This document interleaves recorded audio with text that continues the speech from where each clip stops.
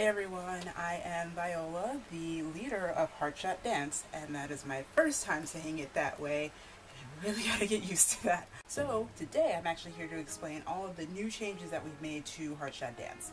Um, as you've noticed, we have actually changed our name from Heartshot Project to Heartshot Dance, and um, there is a very various reasons why that's happened, um, but I'm actually to get into that just right now.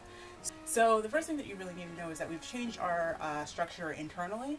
Um, so basically the facets that were known as Heartshot Dance and Heartshot Arrows, they're not named anymore. So instead they're statuses or categories to which our members fall under.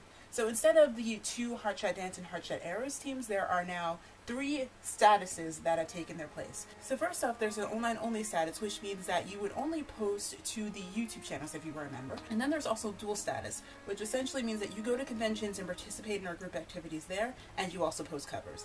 Now, there's a third status now, um, which you know didn't really fall under the previous Heartshot Dance or Heartshot Arrows categories, um, that is now a convention only status, which means that you only participate in group activities during conventions. And this would mean that you would participate in our group cover, you would participate in um, any kind of gatherings, or any kind of panels, or any you know performances that we're going to have at the convention. So it kind of still makes us the dance group for everyone, um, but you know, kind of in a different kind of sense and caliber. So now the next thing you really need to know about is the voting process for our group covers, which used to be called singles. Um, we're not just going to call it the singles anymore, they're just going to be called group covers from now on. So now the group cover can be filmed at other conventions besides Katsucon and Otakon. Um, this gives us, you know, the flexibility to do other conventions as well as um, just those standard two. Now, you will also be able to vote publicly, but the process to getting the songs is going to be just a little bit different. So, at the end of the previous group cover, we'll have a suggestion list that's done internally. So basically, everyone in the group will suggest songs for us, and then we will put them in a poll, um, all of them, and then the top three to five will be put in a public poll. And then from there, whatever song wins the public poll uh, will be the song that we do for that seasonal group dance. Another thing that we've changed internally is that now we have a very loose upload schedule.